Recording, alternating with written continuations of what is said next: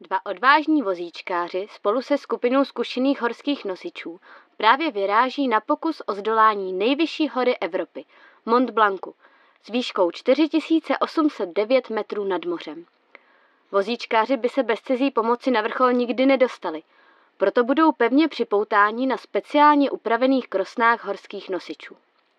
Inspirátor akce Zdeněk Pácha Mimo jiné sám několikanásobný vítěz a rekordman ve vynášce sudu piva na ještět a vítěz nejprestižnějšího nosického závodu Sherpa Rally 2015 na Slovensku, věnoval přípravě akce značné úsilí. Přes jeden rok dával dohromady plány a speciálně trénoval. Ještě před první myšlenkou o zdolání střechy Evropy absolvoval Zdeněk spolu s týmem nosičů a vozíčkáři Michalem Koutným z Ostravy a Jakubem Ševčíkem z Liberce úspěšné výstupy na Ještět, Sněžku a nakonec i na vrchol tatranských rysů. Tentokrát je ale vše jinak.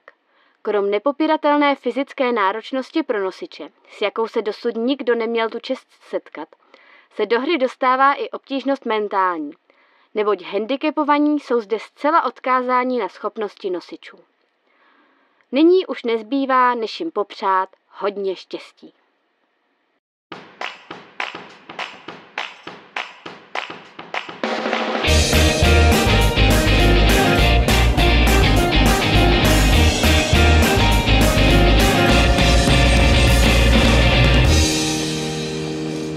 Po příjezdu do francouzského městečka Chamonix nás i přes horké paprsky slunce rychle schladila zpráva o počasí z horské chaty. Bouře a silný vítr na vrcholu hned z počátku kompletně zrušily naše plány. No nenaštvalo by vás to? To znamená maximálně teďka, guter nejdu, to půlka odpadne, ale hned. Druhý den vyjdou tři hodiny a bude po nich. Takže dneska po, te, po maximálně tetku. A zítra kdo co vydrží. Tam se ukáže chlapi. Pak variant prostě dvě. Jo, protože já, já věřím, že se to nepodaří možná vůbec, jo. Ale věřím, že tam jeden nebo dva dojdou. Je to, když jdou, já nevím, sedm lidí a dojde jeden nebo no, nikdo. Jako já to tak, taky beru. Já. To tak je prostě, i nám to může sednout, já se složím taky třeba na Valoce a budu hotový. A Michal se mnou, že jo, protože tam samé dojde. Nebo to zase, A bude fit, jako, můžem, jo. co teďka můžeme podniknout a aby jsme to udělali co nejrychleji. Jo, takže eh, já to nedodržujeme, pět minut a musíme se rozhodnout, takže Takže jsme první den věnovali tréninku a fyzické i mentální přípravě. Tak a karabinu, karabinu si zlikviduj.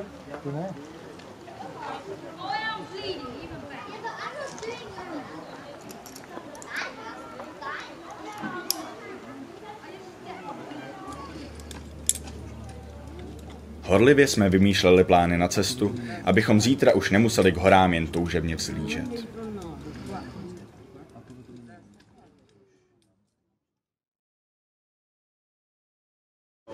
Druhý den vypadal hned od začátku podstatně slibněji.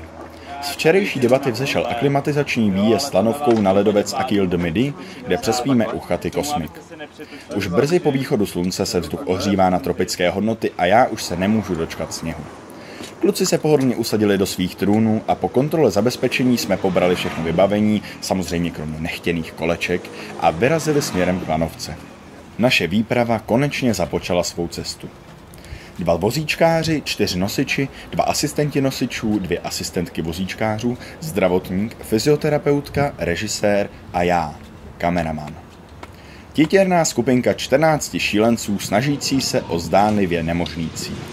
Nedostupné.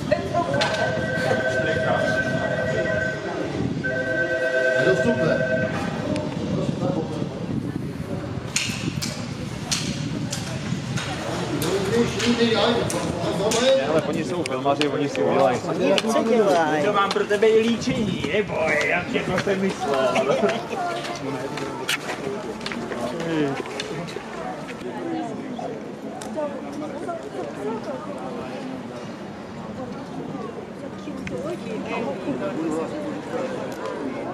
Po příchodu na dolní stanici Lanovky jsme vzbudili patřičnou pozornost okolí. Do odjezdu zbývala necelá půl hodina, kterou Zdeněk využil k osobní rozcvičce. Není se čemu divit, čeká nás těžká dřina a nejeden malý problém.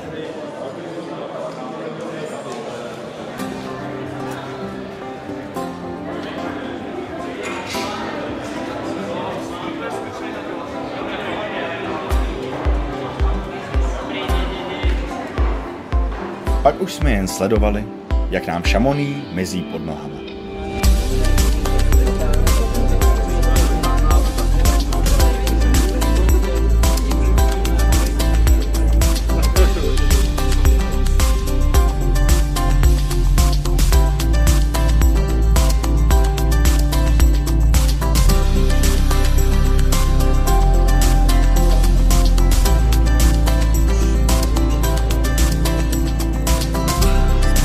V mezistanici už nás překvapil příjemný chládek a jestliže jsme chtěli stoupat ještě výš, museli jsme obléknout bundy.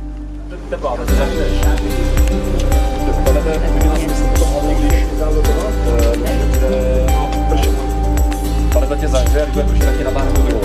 Jo, tohle je péřová. To je. Nahoře už je fakt třeba hodně velká tma.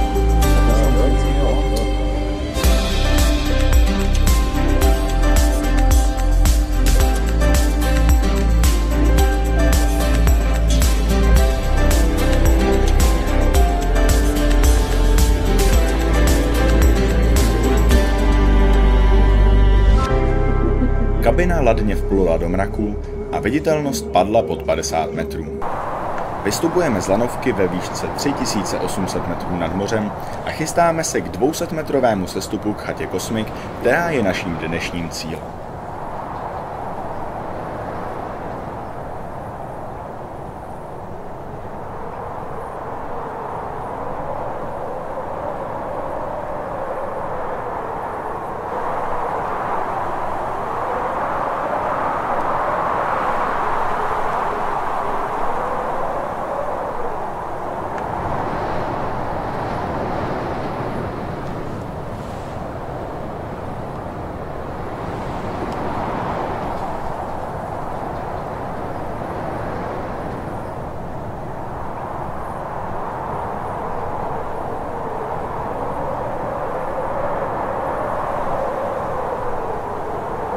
Snížená viditelnost a rozbředlý sníh spolu s několika technickými nedostatky nás donutili se otočit a zůstat na vrcholu. Aby se tenhle výlet dal počítat do aklimatizace, alespoň jsme hodinu běhali po schodech.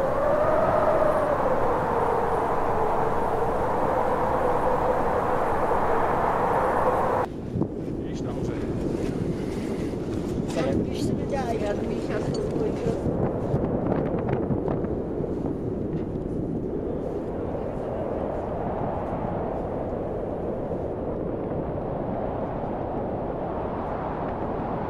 Michal ne, Michal je No, vážte. Prosnou, jakoby, kolik mám letů?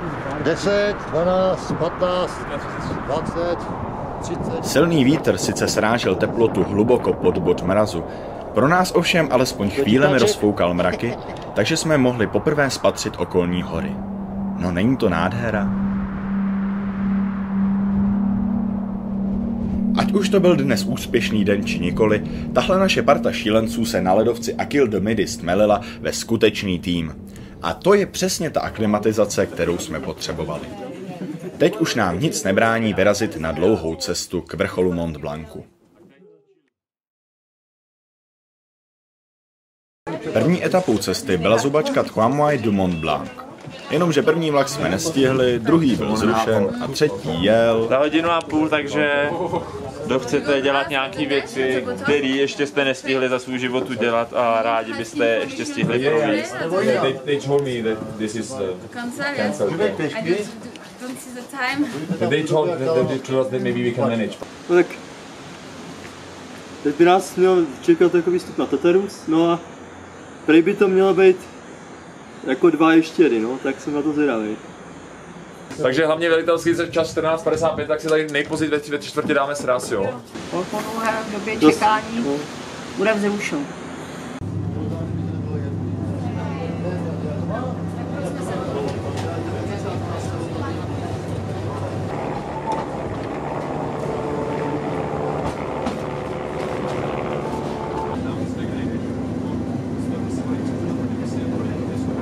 Tramvaj nás vysadila ve 2300 metrech, dál už jsme museli poctivě pěšky až do chaty Ted Hus ve výšce 3100 metrů nad mořem. Čas od času sprchlo. Nám to nevadilo, ale kamera se tvářila, že by radši byla někde úplně jinde.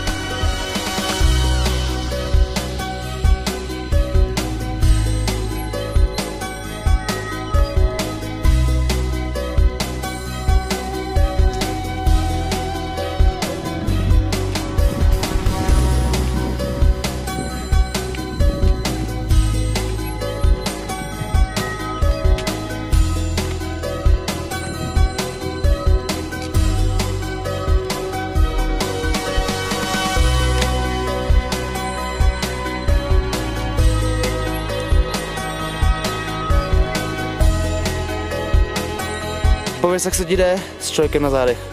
To je v pohodě. Nekýve se, nemluví, neprotestuje, takže v pohodě. Takže střídáme, jo? Jo,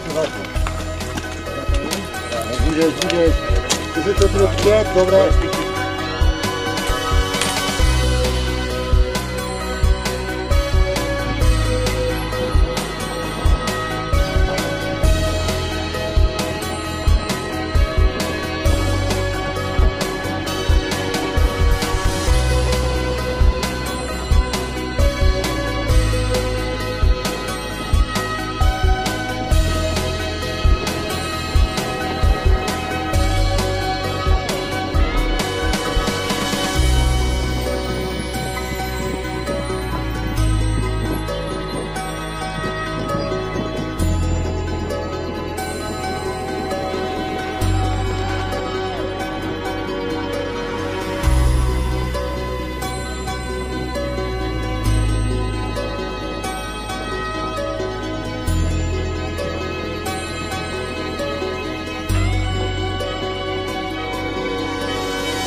Prvního cíle jsme dosáhli úspěšně a dokonce se skvělým časem.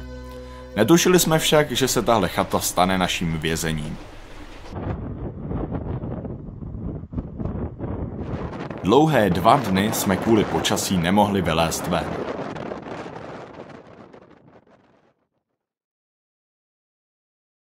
Po dlouhých debatách jsme se rozhodli vyrazit brzo ráno, ještě před východem slunce, dokud je sníh pevný.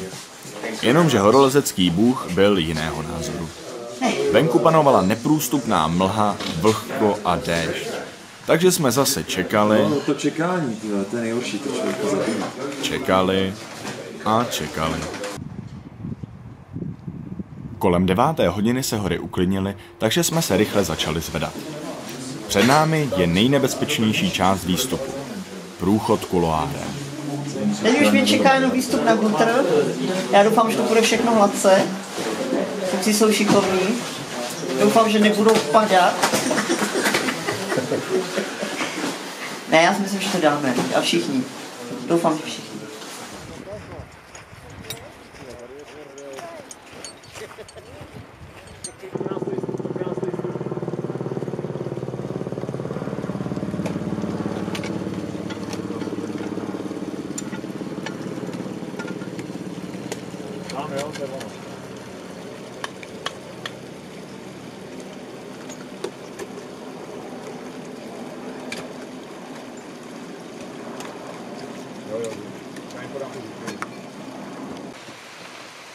Přes kuloár zabijáka Mont Blancu jsme postupovali rozvážně, ale rychle.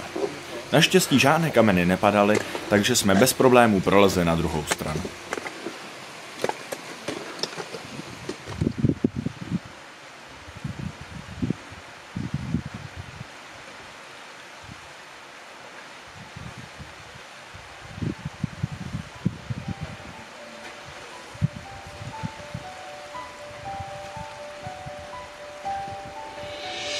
Nebojíš se?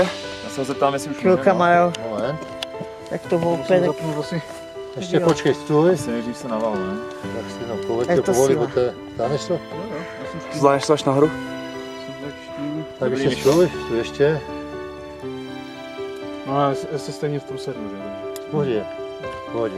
Když se navalí to? Může, no hop. Můžeš tak.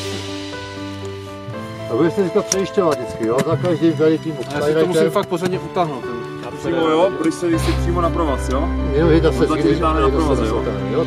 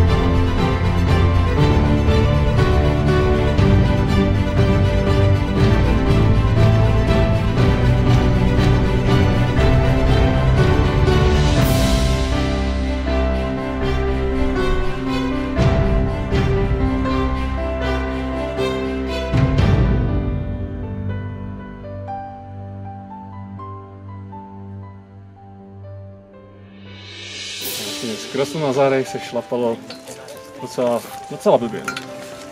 Bylo to náročnější, než jsem si myslel. Asi kvůli nedostatku kyslíku. Šlo to pomalu, ale šlo to.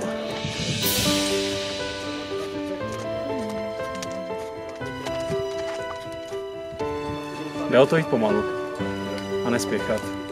Jsem spíš udělal více rychlých kroků, pak jsem se musel vydýchat a pak zase více rychlých kroků.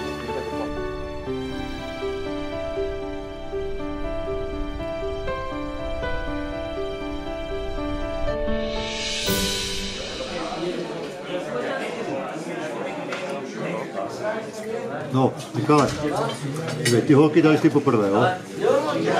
Nikdy nechodili po horách. Hrdinky, jo? Svítí zeleně. Ale to ti tobě, když vezmu ještě nás, jo? To nejseš tam jsme ti to vynesli. Kuluáre prostě šílenství, jo? Úplně blázni, kdyby někdo viděl z profilu, vezl do blázince.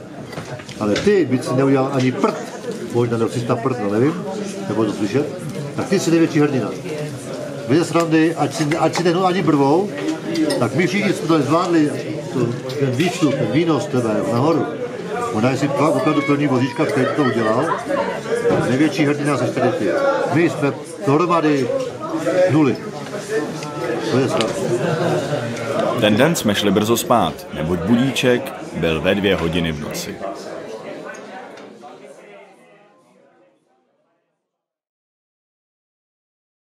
Druhého srpna 2016 jsme ve tři hodiny v noci vyrazili na poslední etapu výstupu na Mont Blanc. Obloha plná hvězd v údolí zářící městečka a my jsme viděli asi tohle. Počasí nám sice konečně přálo, čisté bezvětří a nebe bez mráčku, ale k čemu to, když před sebou tři hodiny nevidíte z hola nic. První etapu nesl Ondra Pleštil. Kdo ho bude střídat kluci? Tady Pacha Zdeněk. Ondra. Jak se Míšo cítíš? Dobře, Dobře, nechrápeš? nechrápu. To je Už dobře. jsme snad jí krásně někdy, jo, Míšo? Nebo ne? Míšo, Co? usnul jsi tam někdy na krosně? Počkej, blbě.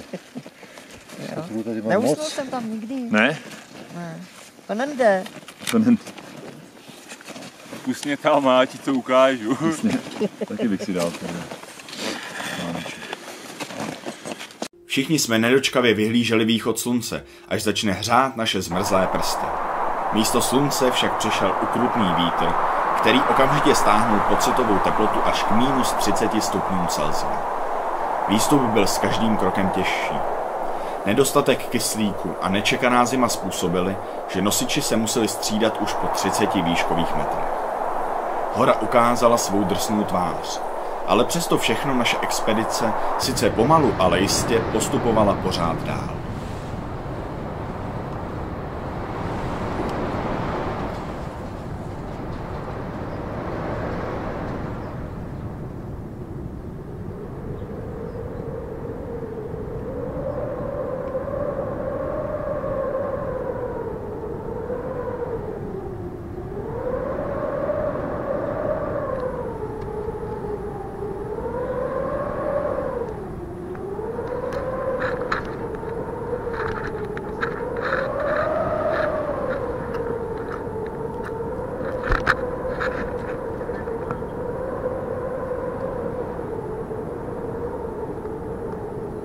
Když se ale k větru přidala navíc i sněhová vánice, kusy ledu bodaly do obličeje a viditelnost klesla na dva metry, všichni jsme věděli, že se nevyhnutelně blížíme.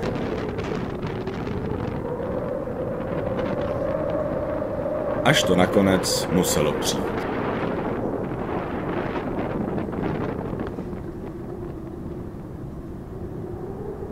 Chlapi, mrzí mě to, ale dál už není možné jít.